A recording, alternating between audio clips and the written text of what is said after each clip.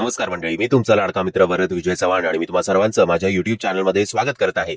मंडळी महेश मांजरेकर सरांचा जुनं फर्निचर हा नवीन मराठी सिनेमा बॉक्स ऑफिसवर काही जुनं व्हायचं नाव घेत नाहीये कारण हा सिनेमा बॉक्स ऑफिसवर चांगली कामगिरी करताना आपल्याला दिसतोय. म्हणजे slow and study wins the race अशी काहीशी असं काहीचा प्रकार आपल्याला या सिनेमाच्या बाबतीत अनुभवायला मिळतो कम्पेअर्ड टू नाच ग घुमा या सिनेमाच्या बॉक्स ऑफिसच्या पहिल्या दोन दिवसाच्या कलेक्शनमध्ये. नाच ग घुमा या सिनेमाचं पहिल्या दोन दिवसाचं बॉक्स ऑफिस कलेक्शन आपण केलेलं आहे. त्याचा व्हिडिओ आपण केलेला आहे तो जर तुम्ही बघितला नसेल आणि त्या सिनेमाचा रिव्ह्यू देखील अगर तुम्ही बघितला नसेल अगर कालमध्येच जाऊ द्या असो. तर हे दोनही लिंक्स म्हणजे नाच घुमाचा रिव्ह्यू आणि बॉक्स ऑफिस कलेक्शन हे दोन्ही लिंक्स तुम्हाला खाली डिस्क्रिप्शन बॉक्समध्ये देतोय. आता येऊया जुनं फर्निचर या सिनेमाकडे. मला असं वाटतंय की या सिनेमाचं बजेट असेल साधारणपणे पाच ते दहा कोटी रुपये कारण मोठमोठे स्टार्स आहेत आणि बऱ्यापैकी चांगले लोकेशन्स या सिनेमामध्ये वापरण्यात आले आहेत.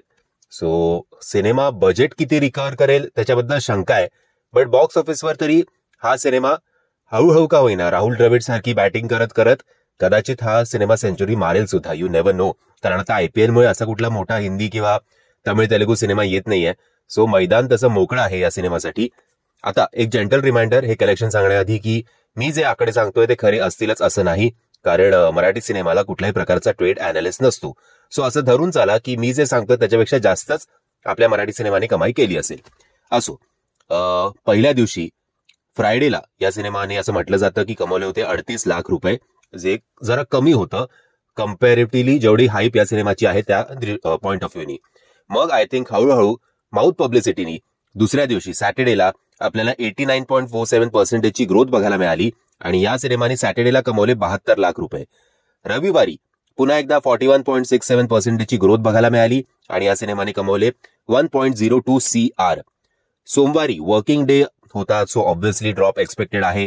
तर ड्रॉप किती झाली? तर minus sixty five point six nine minus sixty five point six nine पर्सेंटेजची माफ करा. सो सोमवारी या सिनेमाने कमवले पस्तीस लाख रुपये. मंगळवारी आय थिंक एक मे होता तेव्हा सुट्टीचा दिवस. मंगळवारी थोडी ग्रोथ बघायला मिळाली twenty five point seven one पर्सेंटेजची मंगळवारी या सिनेमाने कमवले चव्वेचाळीस लाख रुपये.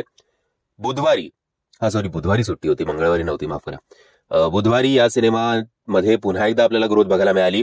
Seventy nine point five five पर्सेंटेजची आणि या सिनेमाने बुधवारी कमवले सेव्हन्टी नाईन लॅक रुपीज. खरं तर सुट्टी असून वन सी आरच्या म्हणजे कोटीच्या घरात जायला पाहिजे होतं पण कदाचित नाचग घुमा याचा इम्पॅक्ट या सिनेमाच्या कलेक्शनवर पडलेला दिसतोय.